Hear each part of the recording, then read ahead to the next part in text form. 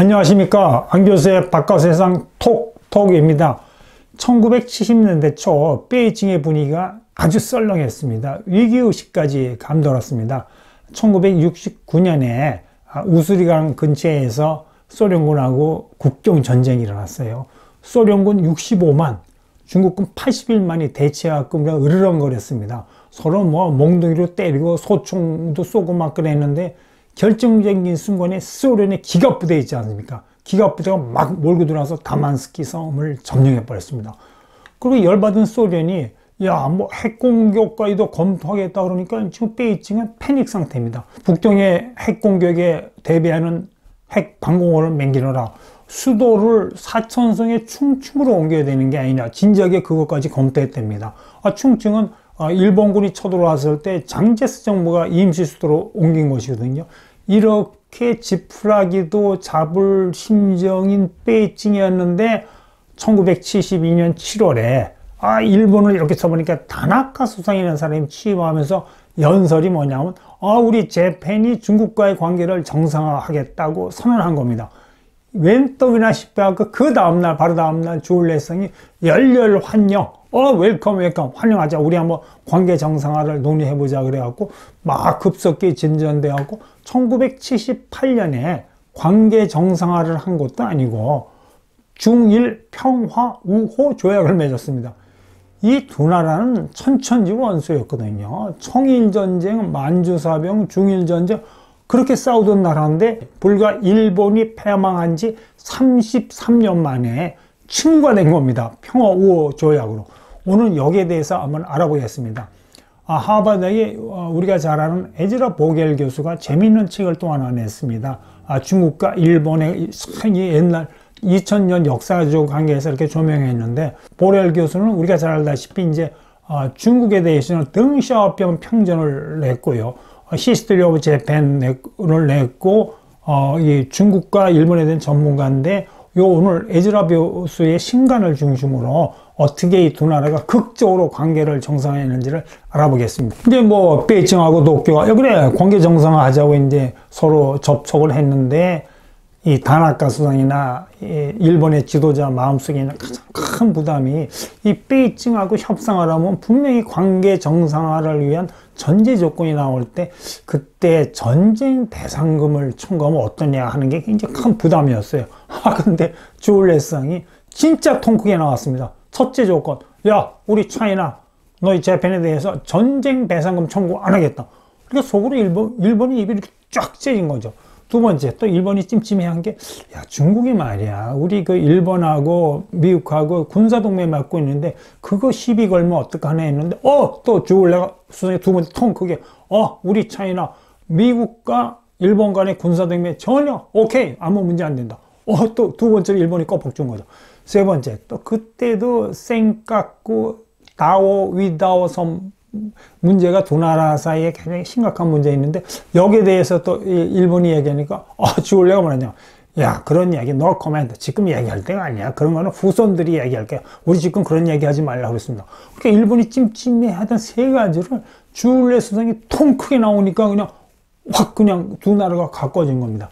근데 주울레 수상은요 협상의 달인이에요. 제가 이제 글로벌 협상 전략을 쓰면서 어, 세계적으로 유명한 협상가에 대해서 알아보니까 주울레 수상의 협상의 특징이 영어로 말하면 only one big concession입니다. 주울레 수상하고 협상하는 상대방이 아 요번에 이제 첫 대면에 갖고 주울레 수상에 100 정도를 내놓을 것이라고 양보할 것이라 기대하는데 주울레 수상은 big concession 첫 번째 만날 때 상대방이 100을 기대해서 150을 팍 내놓은 겁니다. 그 대신 주울레 수상의 협상의 특징은 한 번 그렇게 크게 통 크게 양보하면 그 다음엔 절대로 양보 안 합니다. 그렇지만 상대방 입장에서 take it 그거를 주울레 수상의 통 크게 협상을 받아들이냐 또는 협상을 깨냐 둘 중에인데 일본 경우에는 통 크게 주은래 수상이 그 big concession을 한 거죠. 두 번째, 주은래 수상이 이렇게 보면요. 전 닉슨 대통령을 때 만찬을 젓가락으로 이렇게 집어주고 그러지 않습니까? 근데 주은래 수상은 자기가 이렇게 호스트, 이렇게 외국 기업이나 호스트 할 때는 꼭 그 전에 주방에 가서 국수 한 그릇을 미리 먹었답니다. 그러니까 거의 먹는 시늉만 내고 상대방을 이렇게 take care 해주지 자기는 이미 국수를 먹은 거예요. 그것도 어떤 협상이 많이 나온 부분인데 이런 프로토콜에서도 아, 주은래 수상이 아주 그 능수능란했다고 합니다. 그것도 대신 이제 주울레 선상도 이제 뭐 자기도 뭐 내놓긴 안 해죠. 일본에 대해서. 어, 원 차이나 원칙, 어, 이렇게 타이완 인정 안 하는 거죠. 뭐, 재팬 오케이. 그 다음에 유일한, 아, 차이나에서 유일한 합법 정부는 중화인민공화국이다. 이미 뭐, 공산당이 중국을 통일했으니까요. 재팬 오케이. 세 번째, 과거에 일본이 국민당과 맺은 조약 파기해라. 요거는 이제 타이완하고 관계 있지만 그래도 뭐 일본 입장에서는 큰 문제가 없으니까 원만하게 아, 중국과 일본이 가까워졌습니다. 근데 이제 타나카 수상이 중국과 가까워, 가까워지려니까 아, 미국이 좀 결리거든요. 미국이. 그래서 이제 와서 하와이에서 닉슨 대통령을 만나갖고 또 이 타나카도 또 이 외교적인 수완이 있는 사람입니다. 닉슨 대통령 입재지가 큰 선물을 팍 줬습니다. 그 당시에 이제 그 일본이 미국부터 상품을 구매하는 게 문제인데, 야, 특별 미국 상품 사줄게. 두 번째 이제 그 당시에는 직물을 일본이 미국에다 많이 수출했는데 닉슨 대통령의 정치적 기반이 미국의 남부였고 남부의 직물 산업이 발달했대요. 아, 앞으로 일본이 그 미국에 대한 직물 수출 줄일게. 그래갖고 이제 이 닉슨 대통령의 마음을 잡았고 그 대신 우리 재팬이 차이나하고 좀 관계를 정상화 하려고 그런다니까 뭐 닉슨이 입이 째주고 자기도 이제 아, 차이나하고 국교 정상화 하려니까 뭐 오케이 그래갖고 이제 일사천리가로 어, 이 일본과 중국이 가까워진 겁니다. 참 근데 이제 등서평이 심각했다가 문화대혁명 때 1977년에 복권을 했잖아요. 그리고 이제 78년에 이제 개혁 개방하려고 딱 그랬는데 등샤오평이 머리가 좋잖아요. 딱 보니까 중국을 산업화를 시켜야 되는데 아, 옆에 코리아. Korea를 보니까 이 산업화를 성공적으로 잘하고 있거든요. 근데 코리아 모델을 따르니까 이렇게 어떻게 한국이 산업화를 보니까 일본하고 산업협력을 하는 거예요. 일본에서 기술 부품 수입하고 일본에 투자 받고 하고 또 이제 미국이 뒤에 있으니까 아 우리 China가 산업화를 하려면 뭐 유럽이나 러시아가 아니고 Japan and United States하고 협력해야 되겠구나 그래갖고 파격적으로 평화 우호 조약을 맺었고 이 중국하고 일본 간의 역사 길잖아요. 뭐 당나라 시대부터 그 일본 살렸다니 뭐 당나라 서왕가고 그랬는데 2000년 만에 처음으로 중국의 지도자가 일본을 방문한 겁니다. 덩시아오팽이. 그래갖고 방문해갖고 뭐 외교적인 뭐 회담 그거보다도 제일 먼저 찾아간 데가 덩시아오팽이 닛산 자동차 공장이에요. 산업 현장을 한 겁니다. 닛산 자동차 공장 그 당시에 세계 최첨단 공장으로 산업 로봇들이 왔다 갔다 했거든요. 딱 그거 보고 등시업행이 많은 걸 느꼈고 두 번째 이제 찾아간 데가 이제 페나소닉 있지 않습니까? 마스시다 고노스케가 그 경영의 신이라고 그 당시에는 일본에서 아주 세계적으로 칭송받던 인물인데 예, 쫙 등시업행의 고노스케한테 가서 아 당신을 세계 모든 사람이 경영의 신이라고 부른다고 아 등시업행이 자기 입으로 고노스케한테 경영의 신이라 그랬어요. 그러니까 또 고노스케도 입이 참 기분 좋을 거 아닙니까? 아, 그러면서 이제 중국에 좀, 아, 뭐, 저가 TV 공장 좀 세워달라 그래갖고 등샤평이 일본 방문 이후에 처음으로 중국에 투자해준 기업이 아, 파나소닉입니다. 이렇게 TV 공장을 세워줬죠. 그 다음에 이제 나라가 산업화하려면 철강이 있어야 되거든요. 그러니까 신일본 제철소의 기미츠 제철소를 방문했습니다. 그 당시에 아, 신일본 제철의 기미츠 제철소가 1년에 철강 800만 톤을 생산하는데 중국 전체 철강 생산량이 2,400만 톤밖에 안 됐어요. 그 정도로 세계 최첨단 최강의 제조소로 이렇게 보고 또 등사병이 또 껍벅 엎드리면서 지금 우리 중국의 바오산 제조소가 이제 확장을 하려는데 기술이나 모든 게 부족해서 힘드니까 좀 도와다 오니까 아 신일번 제조소 오케이 그러면서 또 바오산 제조소가 이렇게 확장하고 근대화하는 도와줬어요. 또 이 도강량에 우리가 이 등샤오평 잘 알고 있잖아요. 근데 일본 가서 어떻게 도강양해를 했냐를 이제 이거 에즈라 보겔 교수가 이야기한 걸 그대로 인하면 일본 사람들한테 이렇게 한 겁니다. 등사합병이 천마죠. 야, 차이나, 우리 후진국이다. 우리 일본어도 많은 거 배워야 된다. 그러니까 껍벅 엎드리는 겁니다. 이 일본 사람들한테.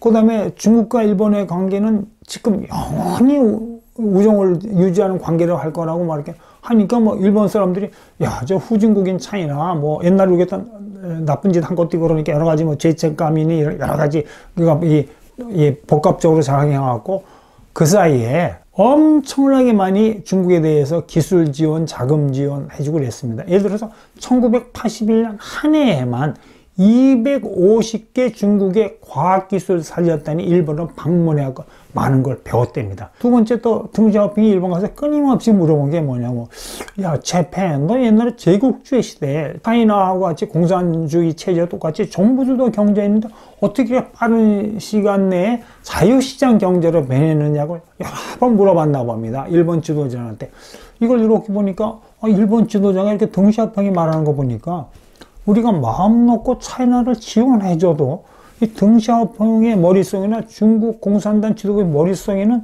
중국도 결국 일본처럼 자유시장 경제로 전환시키려 그러는구나 하고 이렇게 차이나 드림을 꾼 겁니다. 그 다음에 이제 마지막으로 이 일본 사람의 마음을 잡은 건 이 한국 사람이 일본 사람이나 중국 사람들이 서양하고 조금 다른 게 뭐냐 의리 같은 거 중요시 여기지 않습니까? 등사병이 78년에 도쿄 방문해서 이제 의리, 의리의 사나이를 내세운 겁니다. 야, 다나카 어디 있냐? 다나카 수상 찾은 거. 근데 다나카 가택 연금 나오고 있었어요. 그 당시에. 그 72년에 이제 관계 정상화에 깃발 든 사람은 다나카인데 그때는 다나카 수상이 잘 나갔는데 록히드 스캔들 나고 가택 연금 당하는 신세였는데 그러니까 등샤오핑이 만나고 싶다고 얘기하니까 어, 일본 정부가 어, 만나게 해줄 수가 없죠. 가택 연금은 외부인하고 접촉이 안 되거든요. 보통 외교적인 관례면 한번 이야기했다 너 그러면 그냥 관두는데 등샤오병이 여러 번 이야기했대요. 나 단학가 꼭 만나야 되겠다. 그러면서 뭐라고 했냐면 물을 마실 때는 지금 물을 마신다는 건 일본하고 중국하고 평화 우호조약을 맺고 있는데 우물을 판 사람을 잊을 수가 없다. 우물을 판 사람은 단학가죠. 예, 그 차이나에서는 주를 내고 그러면서 뭐 여러 번 동시합병을 하니까 일본 정부가 할 수 없이 단학가 수상하고 등시합병을 만나게 해주니까 등시합병이 딱 그냥 정부, 중국 정부 내빈 자격으로 단학가를 중국에 초대했습니다. 이렇게 의리도 보여주니까 또 일본 사람이 야, 차이나 뭐 이런 마음의 문을 어떤 기술이나 자금을 지원해주는 개방을 크게 한 거죠. 그러니까 이 에즈라 보겔 교수의 이야기를 요약하면은 이게 철천지 원수이든 차이나와 재팬이 이렇게 갑자기 가까워질 수 있는 게 진프로 33년 만에 가까워질 수 있는 거는 초기에 주울의 텅큰 협상. 그래서 중국과 일본의 우호의 관계 개선의 문을 열고 그 다음에 이제 덩샤오병이 쫙 가서 그냥 도강약으로 파싹 엎드린 거야.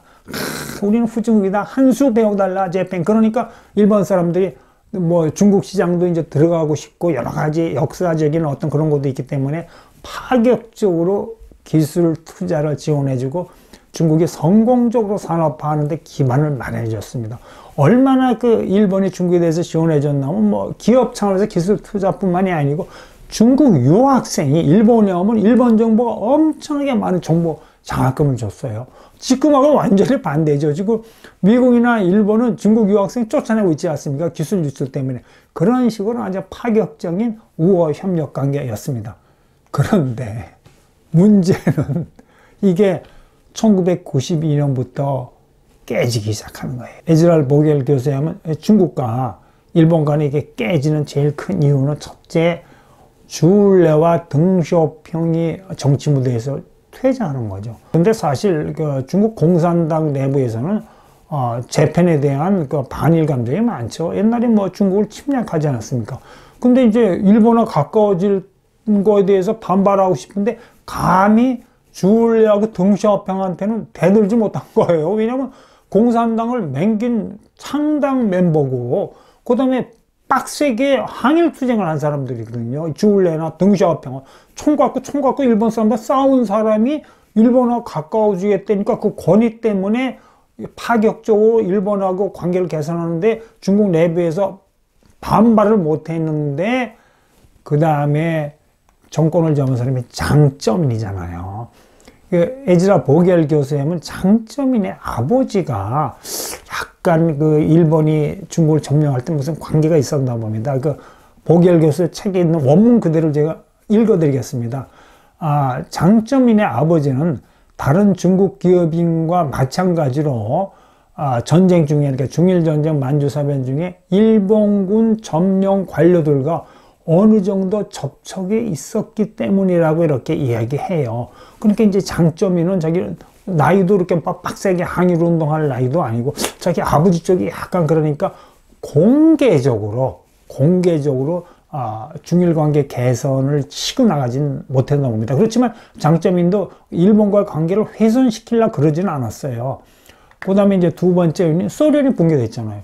어, 미국하고 중국하고 가꿔준 건 소련을 견제하기였고 아까 말한 중국하고 일본하고 가꿔준 것도 소련 때문인데 소련이 어, 붕괴하니까 공동의 적이 없어지고 그 다음에 더 큰 거는 1990년대부터 일본이 장기 불황에 들어가고 이렇게 장기 불황이니까 성장률이 이렇게 떨어지는데 중국은 고, 초고속 성장을 하지 않습니까? 초고속 성장을 하니까 이렇게 두 나라의 경제력이 엇갈려하고 2010년에 중국 경제가 일본 경제를 추월했어요.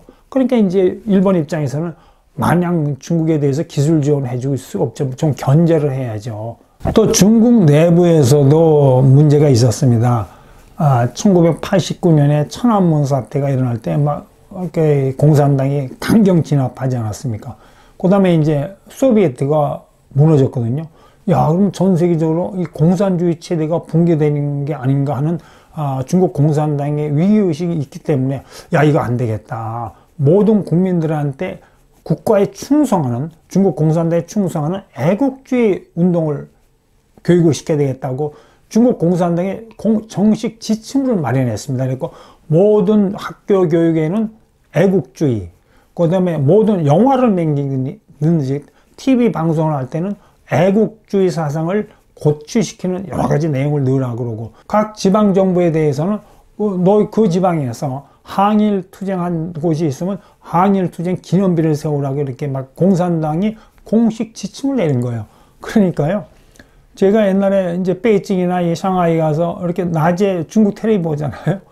거의 3분의 1이 이 중국 공산당이 일본군하고 싸우는 거예요. 일본군 싸우는 거. 이런 식으로 이 국민들한테 애국주의를 고취시키는 교육을 시키는데 그 핵심이 결국은 과거 일본이 차이나와 와서 나쁜 짓 하고 이 차이나가 항일 운동, 반일 운동을 하니까 결국 중국 내에서 반일 사상이 고치되는데 문제는 과거에 일본하고 싸웠던 덩샤오핑이나 주울레 세대가 아니고 이 일본하고 싸웠고 일본의 그 이 침략을 경험하지 못한 중국의 젊은 세대가 더 나이 많은 세대보다 반일 사상이 솟구쳤답니다. 그러니까 의도적으로 중국 공산당이 교육을 시켰기 때문에 그러니까 저 신문에 아, 나온 거 보듯이 시유대 앞서 있는 중국 정부 애국주의란 호랑이에 올라타다. 이런 식으로 하게 되면 지금도 이런 게 다 연결되고 위대한 중학제국 그래고 중국 누리꾼들이 뭐 미국하고 패권 전쟁 하는데도 뭐 난리가 아닙니까? 근데 이제 중일 관계가 틀어진 결정적인 계기는 생카쿠 갈등입니다. 생카쿠. 어느 나라의 국경 분쟁이나 국경 갈등을 볼 때는 반드시 그 역사를 이렇게 되돌려서 왜 이런 일이 벌어졌는지를 우리가 알아야지 정확히 이해할 수 있습니다. 저 지도를 보시면 일본이 어떻게 집요하게 태평양 쪽으로 영토를 팽창한 날을 알수 있는데 제일 어, 오른쪽에 보시면 미나미 토리시만인데 1898년에 일본 영토로 편입했고 제일 아래쪽은 어, 오키노 토리시마인데 1931년에 일본 영토로 편입했군요. 우리가 잘 아는 센카쿠 열도는 1895년에 일본 영토로 편입한 겁니다. 이렇게 지도를 보면은 그 중국 해안 바싹 가까이 일본이 점점 19세기부터 자기 영토로 확장시켜 나간 겁니다. 그 역사적인 배경을 보면 우리가 이제 오키나와 이걸 유구 왕국이라고 하지 않습니까?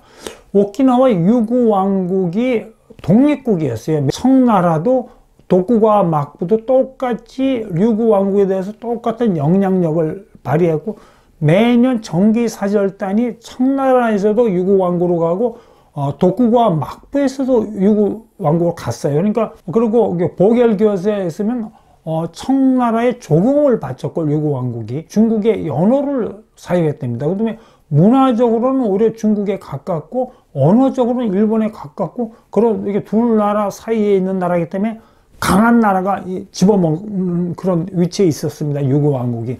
근데 1871년에 청나라의 이영장에 아주 결정적인 외교적인 실수를 합니다. 오키나 어부들이 타이완 인근에서 이렇게 조업을 하다가 이제 타이완에 난파당했는데 타이완 원주민들이 그 어부들의 일부를 죽여버립니다. 근데 일부 도망간 사람이 이제 일본 정부에 이해를 하거든요. 그러니까 일본 정부가 베이징에 외교적으로 항의를 해요. 그때 청나라가 뭐라 했냐고. 야, 유구 왕국, 그거 우리 영향력 안에 있어. 너희들이 관여할 문제가 아니야.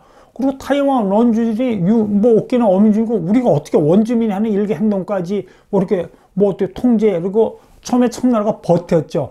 근데 이제 그 당시는 분위기가 일본하고 이 서구 제국이 그냥 같이 한패이 되었고 중국을 뜯어먹을 때거든요. 그러니까 이제 일본이 그냥 이 유럽 이런 나라들을 막 외교적으로 설득해갖고 유럽 이런 나라가 일본을 같이 압력을 하니까 이용장이 야, 뭐 배상금 달려는데 그래, 뭐 재팬하고 관계 정상화를 위해서 배상금 죽게로 줬는데 이게 결정적인 외교적인 실수에 뭐냐면 일본이 그때 전 세계에 대해서 뭐라고 썼냐. 저거 봐라.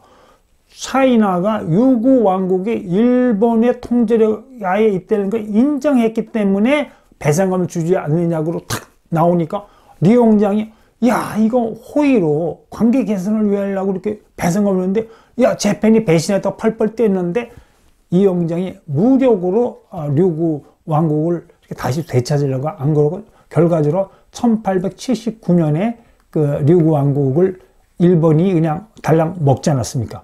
아, 역사적인 배경 을 보면은 센카쿠 열도의 어떤 갈등의 미묘함을 우리가 이제 이해할 수 있습니다. 근데 역사적으로 보면 차이나가 저 센카쿠 열도 오키나와를 되찾을 기회가 딱 두 번 있었어요. 일본이 무조건 항복했잖아요. 일본이 내건 내건 조건은 천황제만 유지해달라. 나머지는 뭐 연합국의 뜻에 전순국의 뜻에 따르겠다. 발랑 이렇게 엎드렸거든요. 그때 전순국이 차이나였어요. 장제스의 국민당 정부 아니었습니까?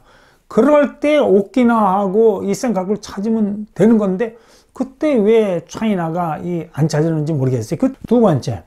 또 일본이 이제 태평양전 때 미국한테 대들다가 이제 오키나를 미군이 무력 점령하지 않았습니까? 그러다가 1971년에 오키나와를 일본한테 반환해줘요.